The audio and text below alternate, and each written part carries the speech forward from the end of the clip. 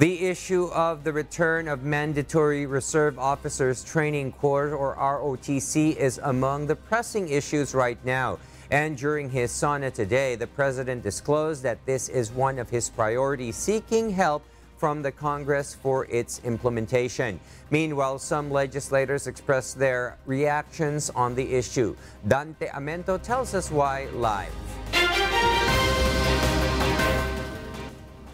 Yes, uh, Dante, go ahead. Good evening, uh, William. One of the issues which gained a big impact or reactions from uh, legislators and uh, guests during the State of the Nation address or SONA of President Ferdinand Bongbong Marcos Jr. today is the Mandatory Reserve Officer Training Course or Corps or ROTC.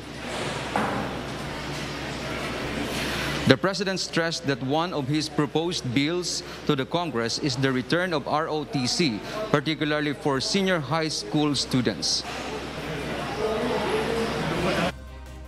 This seeks to reinstitute the ROTC program as, mandatory as a mandatory component of senior high school programs, grades 11 and 12, in all public and private tertiary level educational institutions. The aim is to motivate, train, organize and mobilize students for national defense preparedness, including disaster preparedness and capacity building for risk-related situations. Bato de la Rosa expressed gratitude for the president's pronouncement. ROTC, of course, of course. Yung uh, ating um, mandatory military, military training for uh, grades 11 and 12. Uh, happy ako doon dahil that's my uh, pet bill. But Senator Risa Hontiveros and ACT Teachers Representative France Castro believe there is another approach to inculcate patriotism and discipline among the youth. It may allegedly be prone to abuse that would result to human rights violations among the students. Sa, sa ACT Teachers Party List ay ekis yun.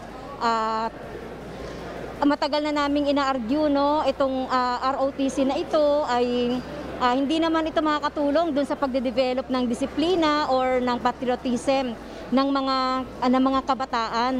Uh, ma maano lang to, ma lang sa human rights viola ma human rights violation. Hindi ko pa rin sinusuportahan o susuportahan ang mandatory ROTC.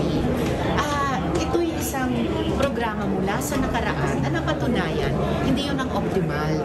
Kasi yung mga kabataan natin, may iba't ibang paraan para mahalin at magsilbi kay inang bayan. Philippine National Police Officer in charge, Lieutenant General Vicente Danao Jr., on the other hand, believes there will be safeguards in order to avoid possible abuses in implementing the military training. Last July 20, the National Youth Commission, or NYC, wrote a letter to the President urging the Chief, the chief Executive to issue an executive order for the mandatory return of ROTC for all universities and colleges.